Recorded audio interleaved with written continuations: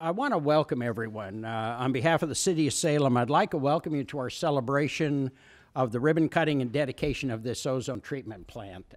Uh, today, we're officially naming the new ozone treatment facility the Frank Mauldin Ozone Treatment Facility to honor our former Public Works Director. This is truly an exciting day. The first shovel broke ground for the ozone treatment facility in April of 2020.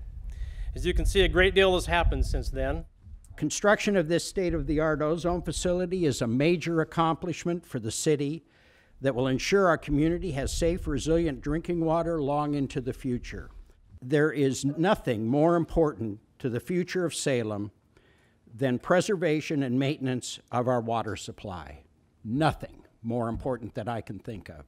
What you've done is is unbelievable because the capital city, the capital city of the great state of Oregon, Salem, Salem, Salem, has the best the best water in this state.